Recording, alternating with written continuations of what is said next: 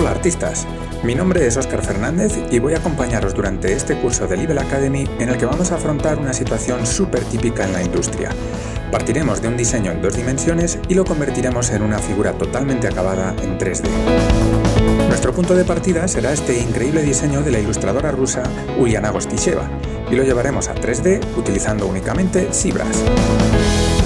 Haremos un análisis de las formas y un blueprint en Posea para crear una malla base sobre la que trabajaremos más tarde. Crearemos todos los complementos, la ropa y demás accesorios, viendo las diferencias que surgen entre un diseño 2D y uno 3D. Pintaremos y posaremos a nuestro personaje. Añadiremos los detalles más finos.